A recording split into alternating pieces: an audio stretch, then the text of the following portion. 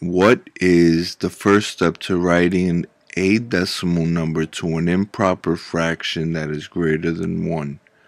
Determining the denominator. So the first step to writing a decimal number to an improper fraction that is greater than 1 is to determine the denominator. So determine denominator.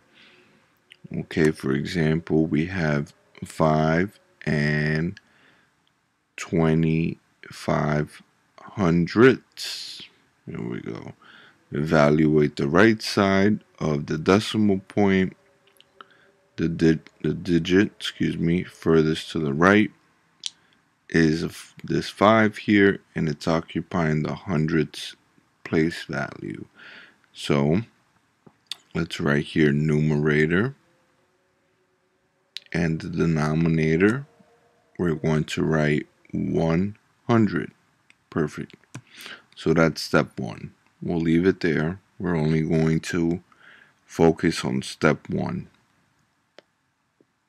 Moving on we have 13.5 well the 5 is occupying the tenths value. Okay. It's the only digit on the right side of the decimal point. So we're going to write numerator, and this numerator is going to be over 10. Let's give you another example here. 3.1475. Determining the place value furthest to the right here after the decimal point what we see here it's 10 thousandths. So let's just write numerator.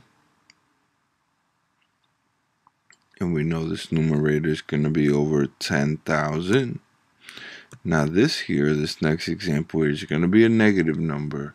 And I know it says here greater than 1 but the rule can apply to this negative number as long as the value has a whole value to it.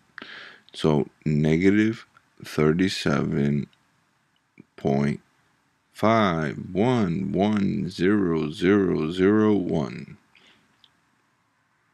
Same concept. We're only going to focus on step one. We're going to write numerator and we're going to determine the denominator by evaluating the place value furthest to the right of the decimal point, which in this example is 10 millionths.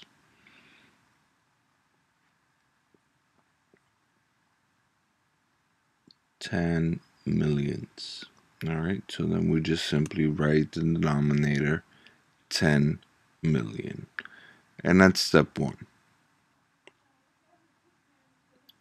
I know it says greater than 1, but the rule can also apply to negative numbers as well.